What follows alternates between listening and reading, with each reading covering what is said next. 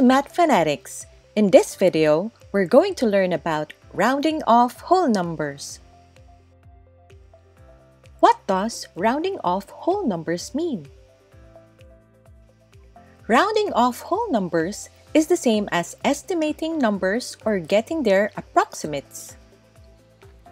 It may also mean getting a less precise version of it. For you to understand further, let's have an example. The Earth's highest mountain, which has an altitude of 8,849 meters, is Mount Everest. What is its approximate altitude?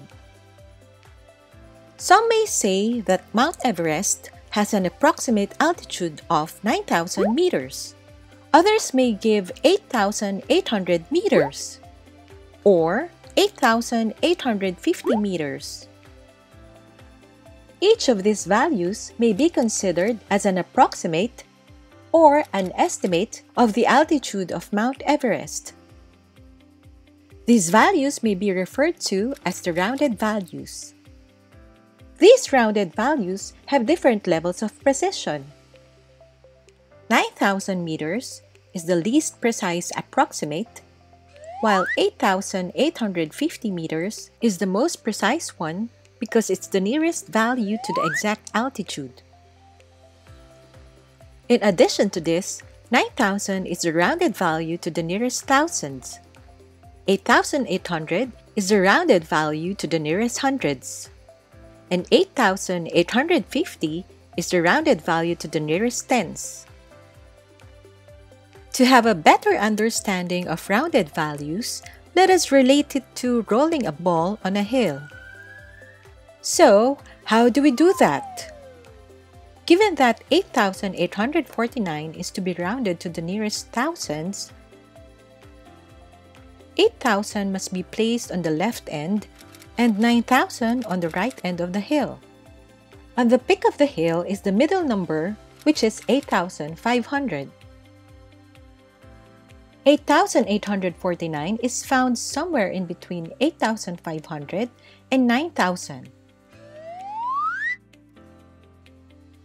The ball roll to reach 8,849 will definitely roll further till the end and reach 9,000. How about if we round 8,849 to the nearest hundreds? 8,800 will be placed on the left end and 8,900 on the right end. On the peak of the hill is the middle number, which is 8,850. This time, 8,849 is found right before 8,850.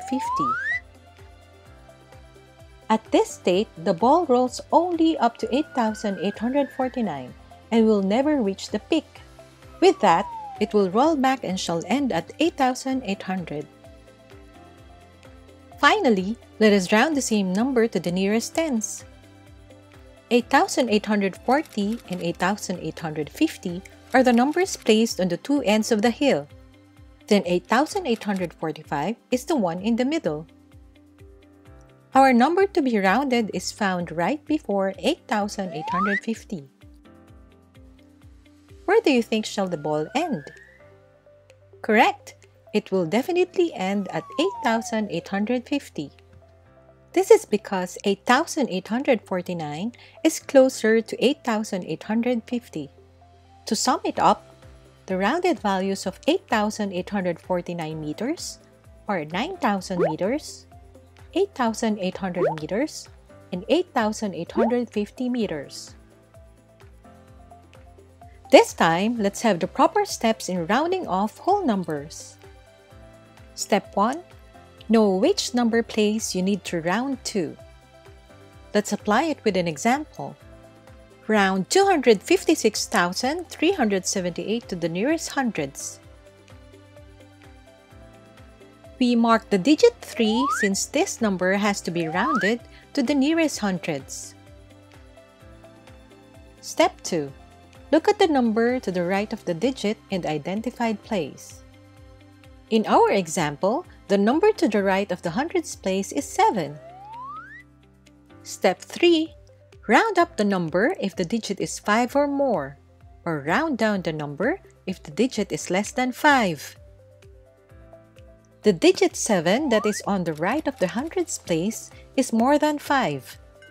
So, we have to round up the number. In rounding up the number, change all digits to the right of the hundreds place to zeros. Next, add 1 to the rounding place. So, 3 plus 1 is 4. Finally, copy the other digits on the left. Therefore, 256,400 is the rounded value to the nearest hundreds. Let's have another example.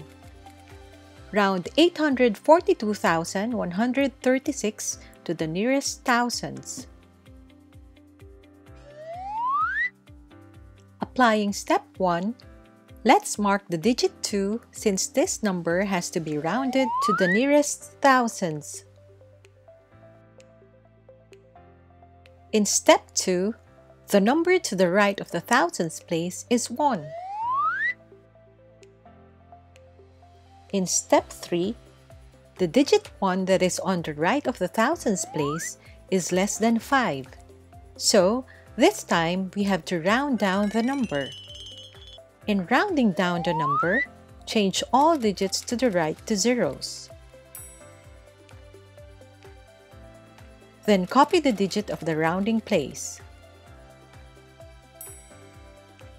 Finally, copy the other digits on the left. Therefore, 842,000 is the rounded value of the given number to the nearest thousands. Now let's practice what we've learned about rounding off whole numbers. Round the following numbers to the nearest underlined digits. The first number has to be rounded to the nearest tens place. The digit to the right of the rounding place is 8. Since it is more than 5, we have to round up the number. First, change 8 to 0 then add 1 to 4 which is the digit in the rounding place and copy the rest of the digits on the left. So the rounded value is 76,350. This time, the second number has to be rounded to the nearest hundreds place. The digit to the right of the rounding place is 2. Since it is less than 5, we have to round down the number. First, Change the digits 2 and 3 on the right to zeros. Then copy 7 which is the digit in the rounding place as well as the rest of the digits on the left. So the rounded value is 21,700. In the last number, thousands is the identified rounding place. Since the digit on the right is exactly 5, we have to round up the number. Make all the three digits to the right to zeros. Then add 1 to the digit 9 to get 10. Since 10 is a two-digit number, it's just 0 that we have to write in the answer. Then carry the other digit, which is 1 to the 8 on the left side of the rounding place. 8 plus 1 is 9. So our rounded value is 90,000.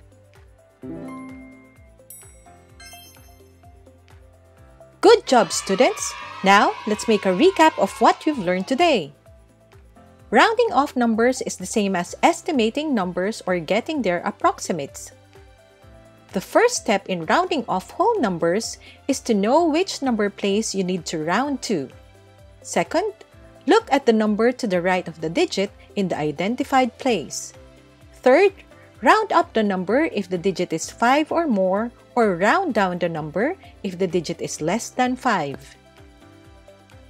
To round up if the digit to the right is 5 or more, first, change all the digits to the right of the identified rounding place to zeros. Next, add 1 to the rounding place. And copy the other digits on the left. To round down if the digit to the right is less than 5, first, Change all the digits to the right of the identified rounding place to zeros. Next, copy the digit in the rounding place. Finally, copy the other digits on the left. That's all for rounding off whole numbers. Hope you've learned a lot from this video. Kindly share with your friends. Hit the bell icon to keep you updated. Please like and subscribe. Thanks for watching Math Funatics.